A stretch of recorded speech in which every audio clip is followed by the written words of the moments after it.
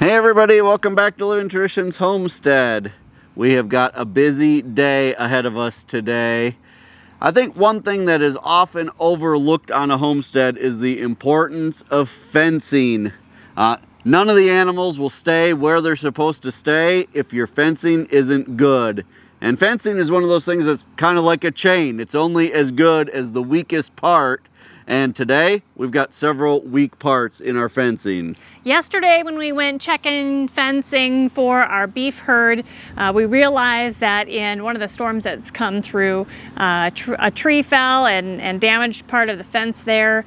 And then this morning, Kevin went to feed the pigs and realized that our boar pen is having some issues with its electrical fencing, and so we need to fix that today too. So we thought that today we'd just bring you along. We've got other things to do too.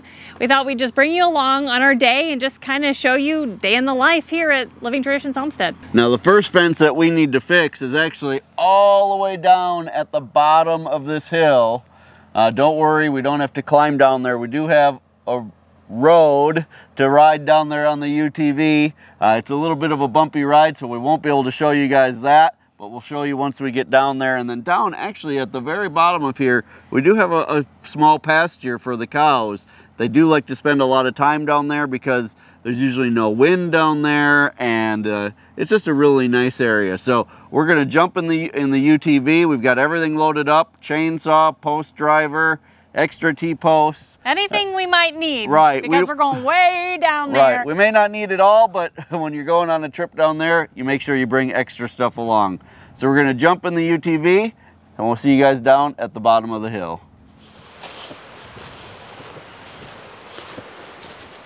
So here we are at the bottom of where we showed you guys a few minutes ago, or a minute ago, I guess. And this is the pasture that we have all the way down here at the bottom of our property. I don't know if you can see it on the video here, but at the very back side here, there is a creek that runs back there. And the fence that we need to fix today is actually just on this side of the creek. So we need to uh, go. It's down on that end of the pasture and we need to put that fence back up. It looks like a tree fell on it. Uh, we'll show you that when we get over there, but basically uh, we need to stop the cows from trying to get over to that creek. All right, we're down by the section of fence that needs to be fixed. And guys, it's actually quite a bit worse than I thought it was going to be. We were down here kind of late in the day yesterday and it was getting kind of dark, so we didn't get a chance to look really well. But basically, you can see a tree has fallen on the fence here.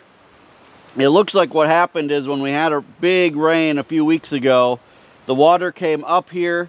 You can see all of this debris and you can see all the, the weeds are pushed going in this direction. That shows me that the water from the creek over here, which you can see there's not a whole lot of water right now, that water was actually so deep that it was over here and all of this stuff started getting pushed up against the fence over here. So we need to start, the first thing we're gonna do is try to cut this tree off, or not try, we're gonna cut this tree off. And then we're gonna see if we can repair part of this fence. You can see that a lot of this fence was held up just with these old wood posts. We've been going through, since we've owned the place, we've been going through and adding T-posts where we can, but obviously we haven't gotten it all done yet. So we're going to add some T-posts here. We're hoping we can save most of the uh, barbed wire or at least repair it. And then, so we have two sections like this that we need to do where we need to basically repair the fence. And then down on the other end here, there's actually a big piece that is so far gone that there's no way to even repair it. It's not even worth our time to try. So we're going to actually add a whole new piece of fence down there. We'll add five new strands of barbed wire and a bunch of new posts down there. And that's what we have going on in this section for today. Um, thinking it'll take us a few hours at least, so we need to get started.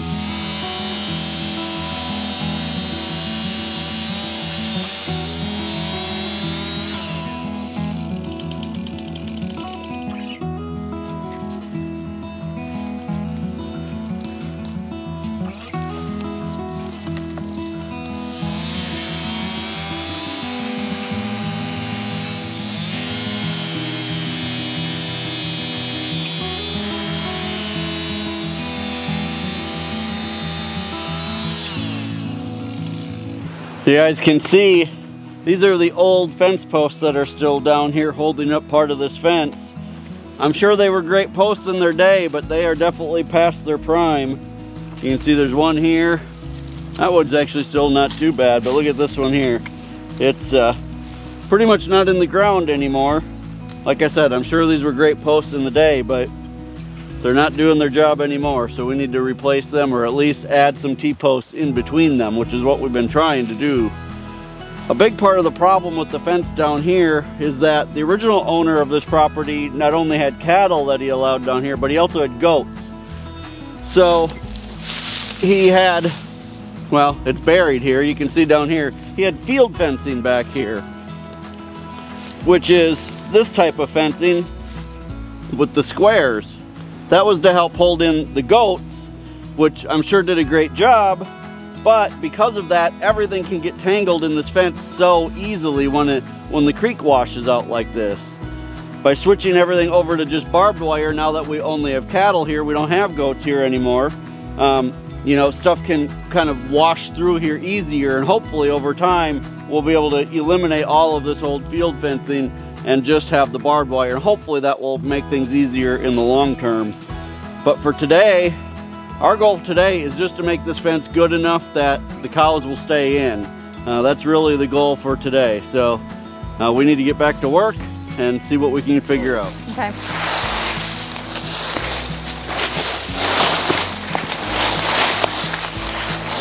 Or that we can throw on the other side, the better. Yeah.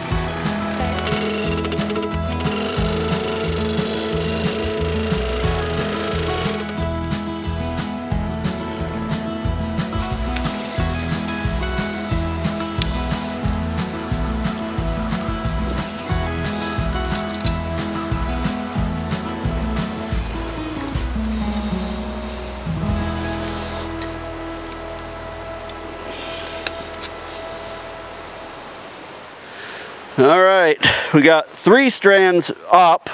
You can see that actually looks pretty good. Um, the last piece of barbed wire actually snapped when that tree fell. It's way back here. And it's an old rusty piece. So I don't feel too good about putting a lot of pressure on it to try to pull it really tight to piece it back together. So we're going to pull it as tight as we can and then I'll use just a short piece of new barbed wire to splice the two broken ends together. I think that'll work at least good enough for today. I'd like to say that this is a temporary fix, but you guys, an old farmer told me one time, there's nothing more permanent on a farm than a temporary fix. So if we get this done today, and for the next 10 years it keeps the cows in, this is probably how the fence is gonna be back here uh, because really that's all it needs to do is do its job. All right, we're gonna try to fix this last strand and we can move down to the next section.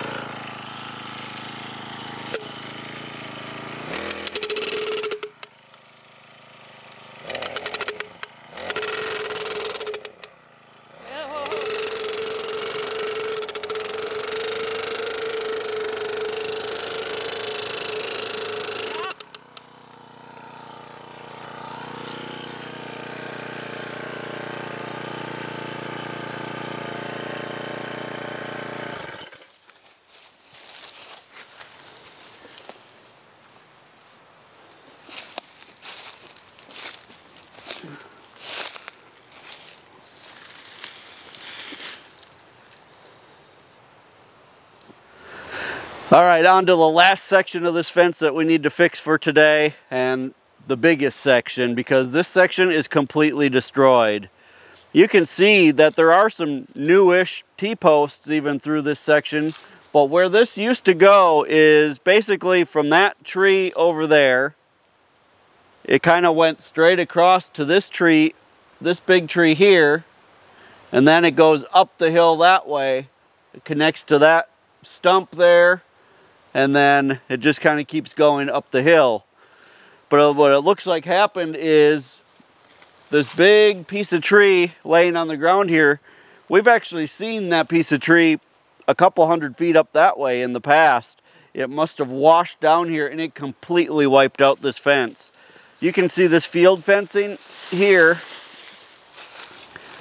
If you look here, it's tangled up in this tree, but look, the force of that tree actually snapped all of this field fencing as the water ran through here. So, I mean, that was some powerful water running through here. So at some point we need to get all of this out of here. Now again, our goal for today is just to make this fence good enough to keep the cows in. And that's exactly what we're going to do. So our plan for today is to actually go from that tree over there where there's already fence connected to. We're going to run five new strands of barbed wire from that tree over to this stump. We're going to kind of eliminate this corner for today. All of this old fencing will stay here for today till I can get back down here on a nicer day. You know, once the weather is consistently nice and we'll get that out of here. But for today, we're going to run five strands from there to there. We need to get this done because we're running out of daytime. We need to get up and fix uh, Charlie's pen yet. And they're saying six o'clock is when the weather's going to turn bad. Well, the first thing that we're going to do so that we know where we're going and so that we have mostly a straight line is we're going to run a piece of this pink string from one of these little trees. We're going to start our fencing here at this big tree and run it to that stump over there and the pink line will show us where we need to put our T-posts so that we're not all wonky and all over the place. So that's what we're doing right now.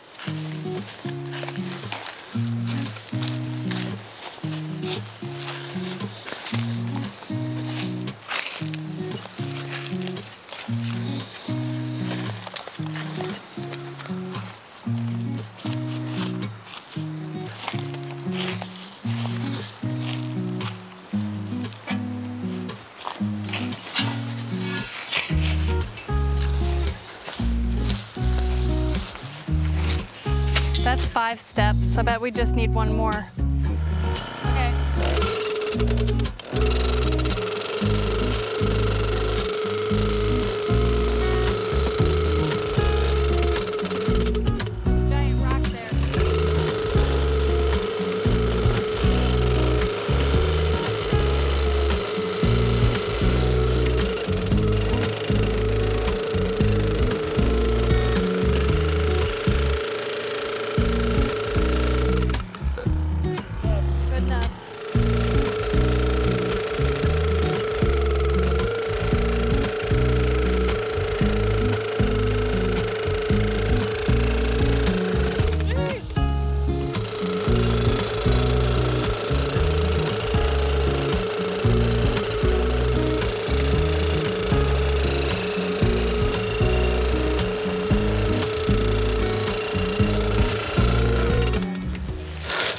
You guys, I understand now why these old guys didn't replace all of these poles every time there was an issue because this is solid rock down here. Even with my post driver, we could barely get these poles in. Having to put these in by hand would have been impossible. Absolutely. This is why they used trees. This is why they did whatever they could do, you know, to just make the fences work. So I have a lot of respect for those old timers who did this all by hand. All right, we need to start putting up some wire.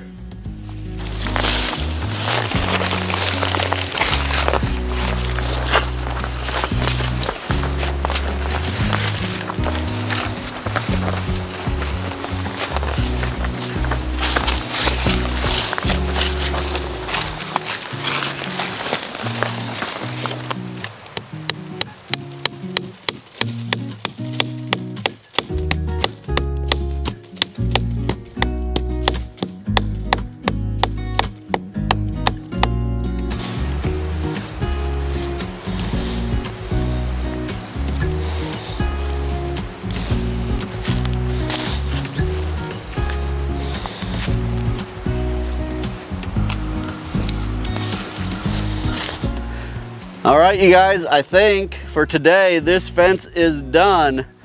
I don't think this turned out too bad. Not the prettiest fence I ever put up, but believe it or not, not the worst fence I ever put up either. So it's gonna be, I think it's gonna hold up pretty well. All right, let's move on to heading over to the pig pens. Well, a quick change of plans. We still need to go do the fencing uh, by Charlie, but our AI guy, Shane, uh, we've been expecting him but didn't know what time he was gonna come by came up from the holler and he was here. So he's going to do some things with Rose. We're trying to get her pregnant. Uh, so let's head in by the dairy barn and get started. Well, the first thing that he's going to do for us actually is check and see if she has a cyst. Sometimes if they have a cyst on one of their ovaries, it will make their cycle not very regular. It can prevent them from getting pregnant. So uh, he's a nice guy, knows what he's doing. So he's gonna check that first. Now, if she has one, then what? Uh, we can give her a shot just like we did Hope last time. Okay. And is that something that we should get from the vet? Oh, that would be great.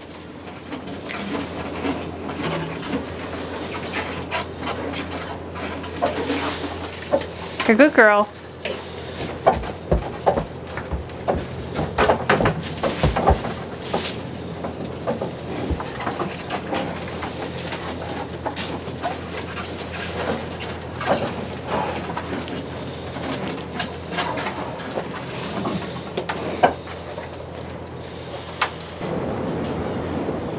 have a little bit of a cyst left ovary. Okay. Is that fairly common? Yeah.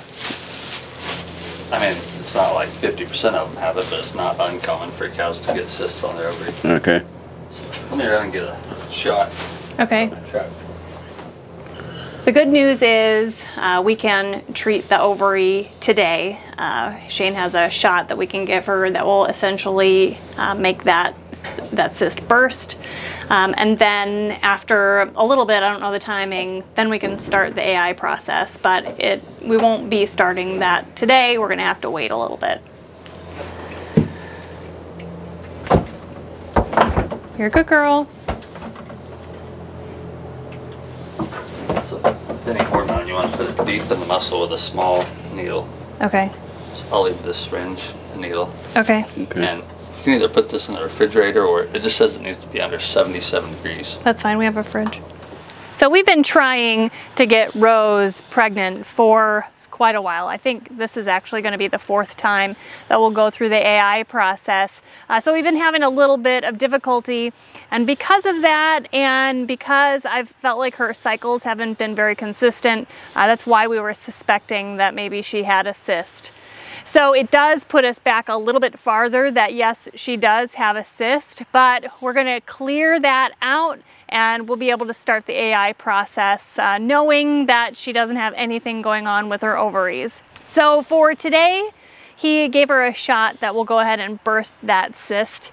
He'll return, um, I'm not sure the timing yet, but he'll be putting in um, a hormone implant that will get her cycle back on schedule. And then soon after that, we'll be able to do the artificial insemination. And hopefully after that, we'll have a calf on the way. We're so excited. So now, after all that excitement, we still need to go back over to Charlie's pen, get that fixed up before we run out of daylight. Final project for the day is to replace the electric fence portion of this pen right here where Charlie and Linda and Donna are.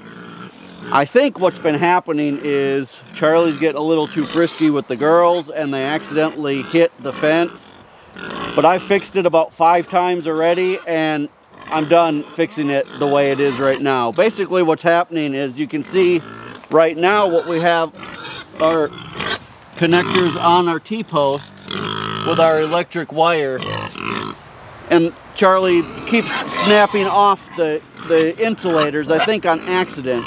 So what we're going to do is we're going to replace it today with some electric uh, rope. We're going to add these on the inside of the existing fence and then we're going to use the Electro-Braid rope, the same stuff we use for the cattle, and we're going to run a string of that all the way along the inside, and I think that that will solve the problem. So first thing we need to do is I'm gonna feed them so they're distracted while we're working in there. And then uh, we're gonna take down their old fence and start putting up the new one. Are you guys hungry?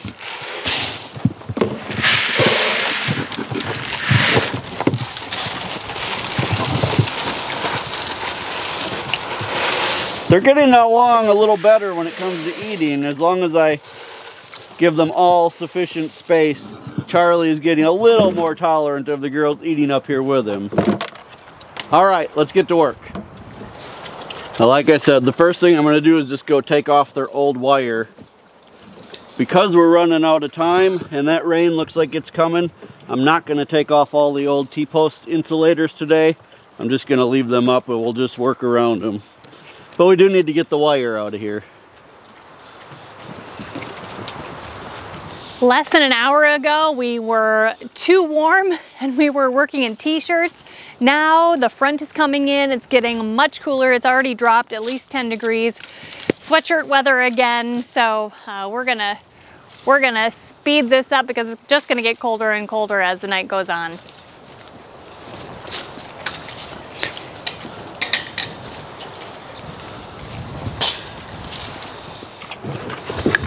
I'm gonna pound the post. Sarah's gonna put on the insulators.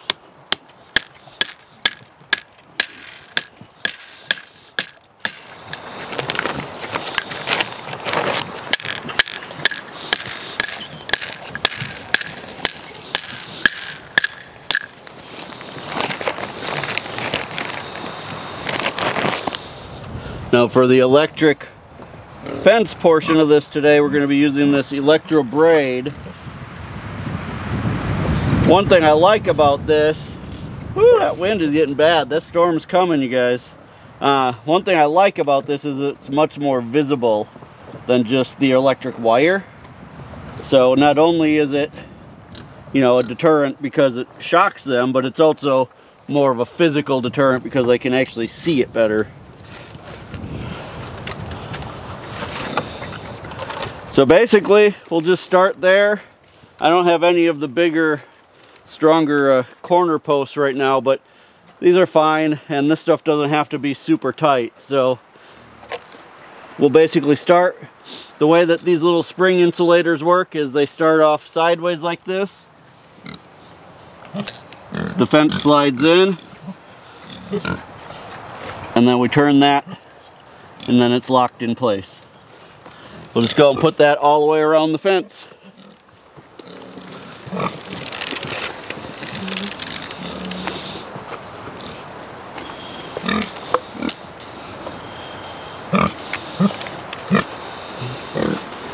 Yeah, Charlie, this is because of you. I've decided to tie this on here to give this some extra stability so we can pull everything a little tighter. So I just use an extra little piece here tie this on. Nothing fancy about electric fence. It works. If it's doing a good job, that's all that matters. The pigs don't mess with it. That's all that really matters.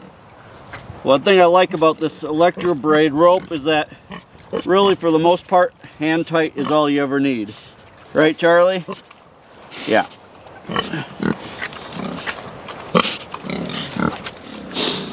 All right, last thing to do is I've got my little jumper. This is coming from the wire over in the girls' pen over there. Got this buried underground coming over here to this pen. We'll just twist that wire around the rope like this. And there we go. That fence is fixed. I'm gonna go plug it in so it's hot and then we are done with fencing for the day. Well, you guys, thanks for spending the day with us. You know, this is not the day that we had planned for today, but we saw some things that needed to be taken care of today.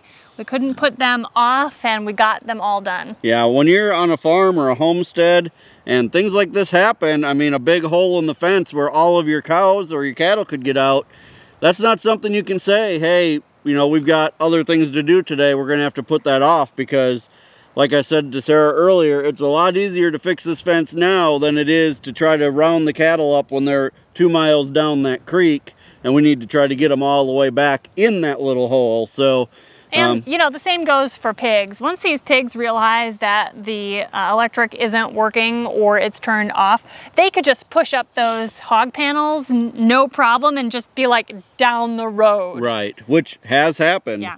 So yeah, when a, especially an electric fence, when you notice that there's a problem, you need to get it fixed because just as fast as they learn to respect that electric fence, they know when it's not working anymore and they disrespect it just as fast. Yeah. So you guys, thanks for spending the day with us today. Just, you know, as we're fixing stuff, this just happens and we're glad you were along. If you're enjoying our videos, we hope that you'll hit that subscribe button before you leave. Don't forget, as always, the absolute best way that you can help us is just to share our videos on all of your social media. Until next time, thank you so much for stopping by our homestead. Take care, and God bless. God bless.